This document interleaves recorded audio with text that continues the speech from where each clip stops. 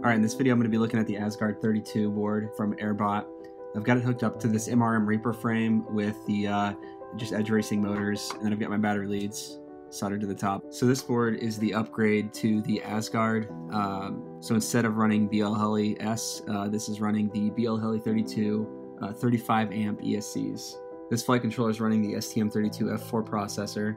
Uh, it's got the MPU 6000 gyro, which I strongly prefer. Um, the MPU 6000 gyro is what all of the top boards use. It's a very proven gyro, and we know that it works. It runs the 30.5 by 30.5 uh, mounting hole pattern. It takes 3 to 4S input, so if you're looking to board the 5 and 6S hype train, this is not going to be the board for you. The 5 volt pad here, it says it's a 1 amp back with a 2 amp max.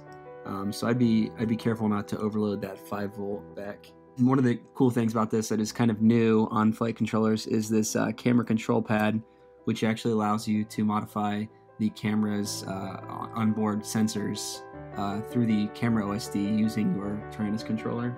And it has six usable UARTs, and I'll show you uh, how those are accessible. If you notice these uh, four holes here, that is actually for um, kind of an expanded functionality. They were looking to add the ability to mount a second gyro uh, with their little soft mounting pads uh, right to the top of that, but as of now, you don't need to worry about that. It's not used. As you can see, the board layout makes for uh, an extremely clean build. I've got all my motors and battery wires hooked up, and I still have uh, complete access to all of the pads that I'm going to need to use uh, for hooking up all of my external components. On the top here we have our power and ground pads and this very large uh, power pad. I'm not sure why they provided such a large power pad, but there it is for you. Um, and then on the front side of the board, you have all of your UARTs and your LED buzzer and all that stuff. With the exception if you're using Spektrum, your 3.3 is going to be uh, provided right here. It's There's four circles here in a row, and it's going to be the third one uh, up. That's where you're going to solder your um, receiver. Uh, you don't see it too well because I've already soldered to it. And then on the bottom here, you have all of your UARTs. Um, you have two, two, or three pretty large pads. You've got this um, large 5 volt pad here, a large uh, rectangle ground, and then you'll have your VBAT pad here. So if you need anything that, that's supplied battery voltage, you're going to connect it here. Anything 5 volt here. All of your grounds will run here. 3 volts up here. In the corner here on the left side of the board, we've got our LED and our buzzer pads. And then we've got camera control and smart audio, video in, video out, 5 volt, S bus, SCL, SDA, TX6, RX6, TX5, RX5, TX3, RX3, and then TX1, RX1, and then that is that. All right, I've got my video stuff all wired up. I'm using the uh, the Zoom Pod uh, from Shendrones, and I've got the uh, Mach 2 VTX from Race Day Quads, and I've got it all hooked up with. Uh, so I'm running my 24 volts straight to the VBAT on the board. I'm running my ground to the main ground. Uh, I've got video here, which is also a black wire, which could be confusing. I've got the video running down to the video out.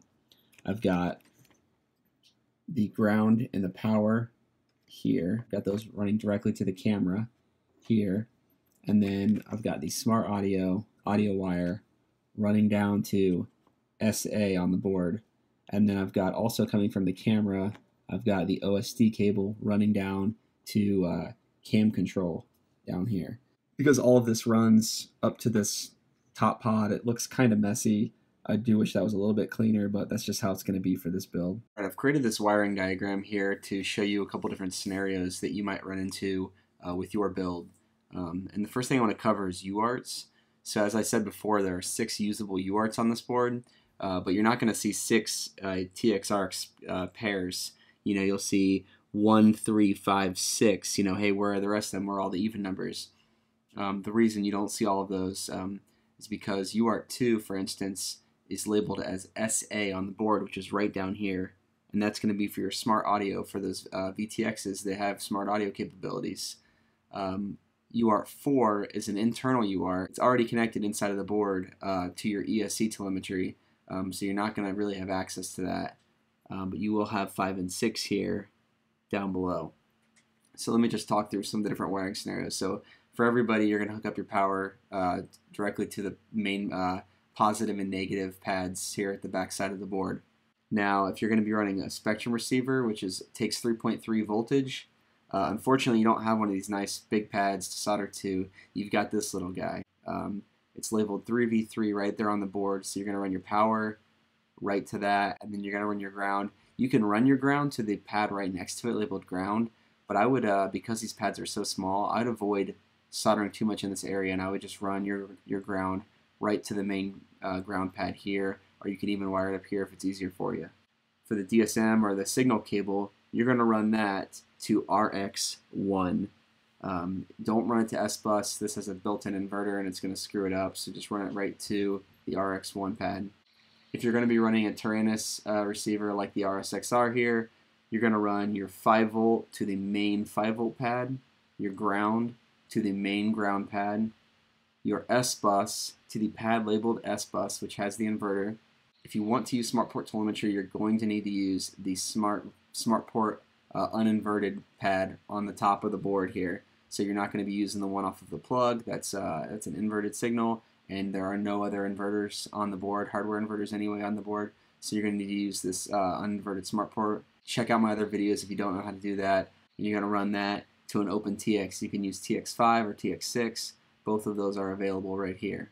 If you're going to be running Crossfire, which is how I did it in my build, you're going to run 5 volts to the main 5 volt pad, ground to the main ground pad, channel 1 to RX1, and channel 2 to TX1. Um, and that's going to basically, you're going to run Crossfire protocol uh, that'll basically do your controls and your telemetry all over UART1, uh, which is really nice. So that covers your receivers, and then we're going to move on to our VTX.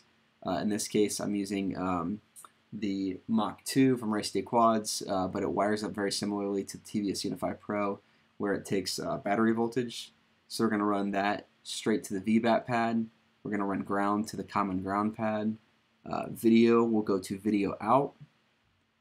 Audio will go to the SA Smart Audio pad, which again is UART2 in Betaflight when you go to hook that up. And then uh, I ran my 5 volt and ground right to my camera. Now, for the camera, you're going to run, you've already got your power and ground. You can run those off of your VTX like I did, or you could run those to VBAT if you wanted to get uh, battery voltage to your camera, or even the 5 volt uh, regulator here. And then you need to run your video to video in, and the reason you go video in here and video out here is so it can use the onboard OSD chip to do that OSD uh, overlay on your video. And then one of the cool things that I mentioned before is that it's got camera control. So take your uh, signal wire, not the ground for the OSD cable, but the other wire, the white one, you're going to run that up here to cam, cam underscore C, and that's going to enable you to use camera control. All right, I think that covers most of the scenarios. If you have any questions on anything I didn't cover here and you want to see how something uh, should be wired up, just drop me a line in the comments and I'll try to help you out with that. All right, now for this board, uh, I was using some uh, beta firmware uh, that I'll post in the uh, description below. Um, but if you want the latest and greatest and you want to kind of know what's going on with the board, I recommend you hitting up the RC Groups page for um, this board. It's going to be found under Asgard 4x25 BLLES slash Asgard32. It's up to like 81 pages now, but you know, as you can see, like on I think page 79, uh, Terralift here gives a link to the most latest version of the of the software that he's working on. Um, so that I would check there for the latest firmware um, and then flash the board to that if it's not already. Uh, once you've got it flashed, I'll get into my setup. So I showed you how I have my board wired up. Um, now I'm going to go into the ports tab and I've got my serial RX on UART1. That should be how everybody has it, whether you're on Crossfire or Taranis receiver or Spektrum, It's going to all be uh, UART1 serial RX. On UART2, I have my TBS Smart Audio Protocol hooked up. That's not currently working for me because I'm using the Mach 2 uh, board, which has some issues, and I'm going to need to wait until they patch Betaflight in order to make this work for me. But if you're using the TBS Unify Pro, uh, this should work out of the box for you. On UART3, I've got nothing hooked up. UART4 is where I mentioned we have our built-in ESC telemetry, so don't mess with that. Go ahead and leave that on ESC. And then 5 and 6 are wide open. In the configuration tab, I'm running DShot 1200 Quad X and I've reversed my props. Uh, only do this if you know what you're doing and you know how to reverse your motor direction. Um, I left the motor idle throttle alone, and then down here I'm going 8K 8K with accelerometer on. Oh, I didn't realize they added this maximum arm, arm angle. This is that small angle that I always set. I guess you can set that right here to 180. I've got my craft name added, uh, which will show up on the OSD. I'm running the serial-based receiver, Crossfire protocol, and then down below, a soft serial was already on. I didn't change that. I left it alone. I turned on telemetry, which I'm using the Crossfire telemetry.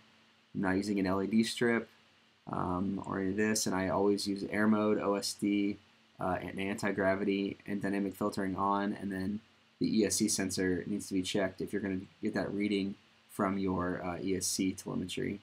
Under power and battery, if you have this set to ESC sensor and you have a battery plugged in and you arm the quad, you're going to see the amp draw per motor right here, and that's something you can also show on your OSD. For PID tuning, I'm going to leave it on all stock PIDs right now, and then I'll come back and play with it later. Uh, the stock Betaflight PIDs are really, really good, and I usually don't have a problem running them out of the box. I'll put under filter settings, I'm going to drop this down to PT1, and I'm going to disable these first first two filters.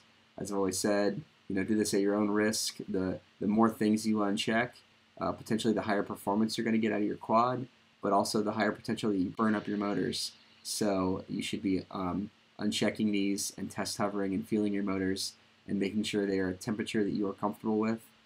So I'm going to go ahead and save that. On the receiver tab, pretty much everybody needs to select this Spektrum uh, TAER setting. And I'm setting this to auxiliary 8 because that's what I'm using for my crossfire telemetry. I'm going to go ahead and save that. Under modes, I've added an arm switch, a beeper, and they flip over after crash mode. On the OSD, I've got my main battery voltage, my average voltage per cell, and my current draw, which is going to come from a uh, combination of the, the four motor uh, amp draws combined. And I've got my warnings here and my craft name here, and then I've got my flight time, or I should say arm time, here in the corner. Now, I did have to remap my motors because when I would uh, spin up for instance, I would spin up motor 1, I would get motor 3 spinning up, 2 would spin 1. So how I remap that usually is I'll create a chart just like this. So I say when I spin up motor 1, it spins up motor 3. When I spin up 2, it spins up 1. When I spin up 3, it spins up 4. And then I go into Betaflight and I type resource. And it shows your motor resource mappings right here. And basically what I do is I copy that, and paste it here, and then I paste it again and this is what I'm going to use as my uh, kind of instructions, and this is what I'm going to use as to paste back in. So if I'm trying to figure out which resource motor 1 should be mapped to, I go up here and I say which one spun up motor 1. It was 2, so I'll copy 2, and I'll paste it to 1. then I go motor 2. Motor 2 was spun up by motor 4, so I find motor 4, and I paste it to motor 2. For motor 3, it's spun up when I touched motor 1, so I go C08 is motor 3, and then for motor 4, was spun up on motor 3. So I find motor 3, B01, and I paste it for, to B01. I copy all of this, I paste it back into the CLI, I type save. What that does is it remaps all of those motors to the correct position. So now when I go into the motors tab, I can spin up motor 1 and see that motor 1 is what spins up uh, to 2, 3, 3, 4, 4. I also had to remap my uh, the LED strip resource so LED strip was mapped to A02, which is the resource for UART2 TX. Um, and I don't want that to be LED strip. I want it to be my uh, SA pad on the board so that I can control smart audio. So I looked under resources, type resource, and there was an LED strip on here labeled as A02, and I type resource LED strip 1 none, and that frees up the resource and then resource serial tx2 to A02. So if you basically type those two things in and hit save, you should see that now you have serial tx2, oops, sorry, here, mapped to A02. So that's all I'm going to change for my Betaflight configuration. Uh, I'm basically going to get out and fly and see how it feels. I, I, likely will be coming back in here to mess with PID tuning. I might even come back in and turn off this uh, D-term notch filter if the motors aren't hot and I feel that I can get some extra performance by turning that filter off, uh, I'm definitely going to do that. Um, but other than that, this is basically how I'm going to go fly it. And this is going to be how it's set up in the flight video that I post next. Alright, I had a GoPro on for this flight, but uh, I did two things uh, wrong. Uh, one, I had image stabilization on, which made the video just look terrible. And two, the angle on this GoPro mount is way too much for flying here in my yard, and uh, really the video is just a lot of sky and not super relevant uh, to the flight. So I'm just gonna I'm gonna show you a little clip of it, and then I'm just gonna cut to the DVR footage. I apologize for not getting you HD, but I'm gonna get out uh, this week and try to get some more flights in because I absolutely love the way this thing flies. So here's the first look at the main flight of this. If this video helped you, please click the like button so I know that you're, uh, you're enjoying the content that I'm producing. And uh, if you like videos like this, please uh, click the subscribe button. Thanks for watching.